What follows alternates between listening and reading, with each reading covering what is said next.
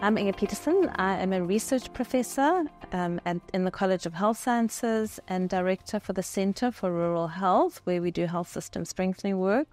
within the School of Nursing and Public Health Medicine. My research interests, in particular, are in the field of public mental health. In this field, what we try and do is really increase access to mental health services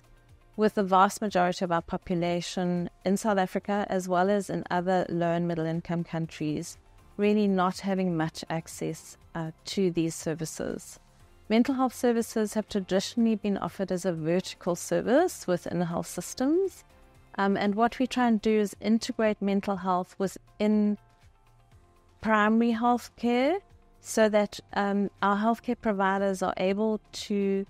treat a person holistically um, so that they don't just treat physical conditions, they also treat the mental health conditions or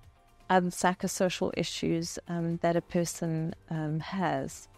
So, what, what I've learned over the years is that actually trying to approach this problem from just working um, with mental health services to see how we can integrate these services into the existing systems is that it's always seen as an add on and so, what that has really shifted my work to looking more at how we can reorientate our services towards providing more people centered care so that um, we have healthcare that sees the whole person.